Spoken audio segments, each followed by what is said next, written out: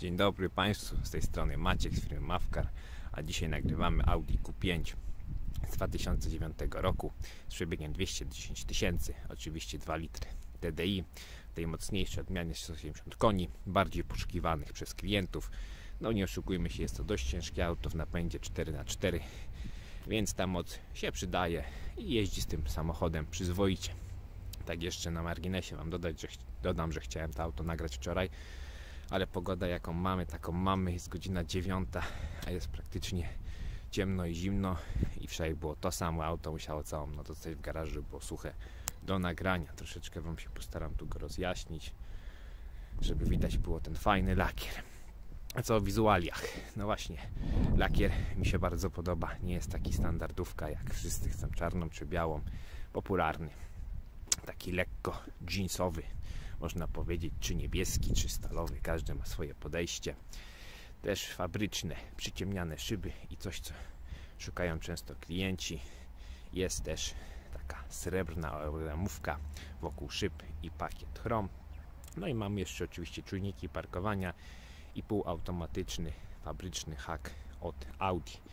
Jest rączka taka, która go po prostu wysuwa. Sami musimy go nastawić na miejsce. Fajna sprawa, nie trzeba się z tym bawić, żadne kluczyki, żadne rzeczy. No i z wizualnych rzeczy mi się bardzo jeszcze podobają te 20-calowe alufelgi. Naprawdę dodają tej budzie takiej dużej masywności. Pasuje to do niego, nie jest przerysowane. Alufelgi też nie są ładne, znaczy są ładne, nie są jakieś podrapane. No i przede wszystkim oryginalne, fabryczne, więc są lekkie i dodałem dodatkowych kilogramów. Opona jest z 21 roku z bardzo ładnym bieżnikiem, więc to też kolejny plus według mnie przy tym samochodzie. A z rzeczy technicznych, a no jeszcze wspomnę Wam, że oczywiście czujnik deszczu, czujnik zmierzchu, no i Big Xenony. Ale z tych technicznych rzeczy, no to w Polsce okazało się, że będę musiał wymienić tu masę. Myślałem, że będzie to tylko przegub wewnętrzny. No ale przyszły klient ma już to zrobione. Czyli jest zrobiona 12 przegub. Jeszcze przy okazji, już jak było to robione, to była wymiana osłona ich tych przegubów, te manszety. Więc no sporo kasy jest w nią tak zainwestowane. Przy okazji w książce serwisowej jeszcze jest wpis o wymianie rozrządu przy 180 tysiącach kilometrów, więc 30 jest na rozrządzie przejechane. Opony świeże, tak wspominałem, tarcza ładna również też. Nie ma na niej korozji, żadnych tam większych wnieceń. Ogólnie jest naprawdę przyjemnie utrzymany samochód. No to nagrajmy zatem wnętrze pojazdu. Tutaj jak widzicie, pierwsze wpisy oczywiście Audi. Dalej już tutaj jakiś jeden serwis też taki autoryzowany przez Audi. Dalej następne. Tutaj mamy jeszcze dwa. Tutaj gdzie Wam kolejne. Gdzie macie wszystko pozaznaczane, co było robione.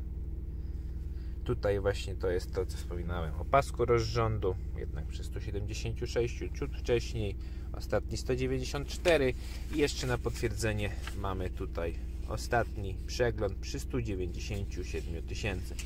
Jeszcze tutaj jest parę takich yy, wszystkich serwisów, ale no nie będę tego wrzucał, bo to szkoda czasu na filmie.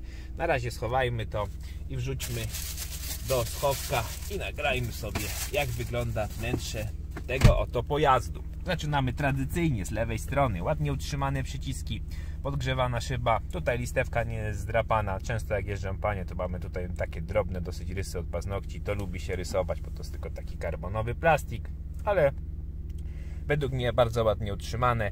Skóra również tutaj na boczku wygląda fajnie. Włącznik od światła, oczywiście światła są automatyczne. Tak jak wspominałem wcześniej, są chociaż przeciwgielne. Kierownica sportowa, bo mamy tu oczywiście fotele też również sportowe. Pół skóry z alkantarą, bardzo ładnie utrzymane, jak spojrzycie, praktycznie zero życia.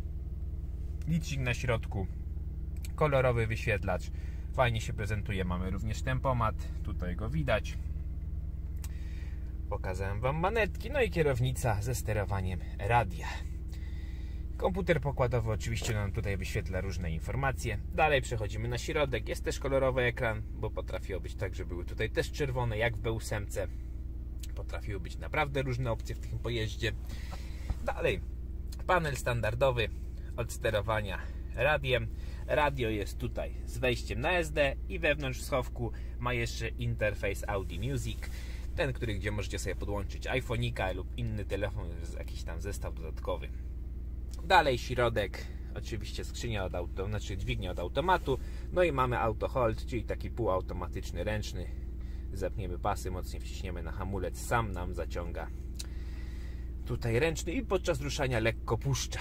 Nie trzeba o tym pamiętać. Lusterko fotochrom, czyli samoczynnie się ściemnia. Podłokietnik, miejsce na kubki, tutaj miejsce jeszcze było na płyty, po staromodnie. Podłokietnik również, jak widzicie, jest to wysuwane, więc na pewno każdy znajdzie fajną pozycję u siebie tutaj za kierownicą. Fotele bardzo ładne, że tak powiem, jest to mój ulubiony typ połączenia, czyli półskóra z alkantarą, bardzo wygodny. Jest też na nich ciepło, bo niektórzy nie lubią skóry, bo jest zimę zimno w tyłek. A tutaj prezentuje się to dobrze. No i z tyłu oczywiście fotele. Bardzo ważna rzecz dla niektórych jest ISO Fix. Cóż, myślę, że aucie tyle. No jeszcze Wam pokażę mój boczek. Mój fotel też wygląda fajnie. Prezentuje się naprawdę dobrze.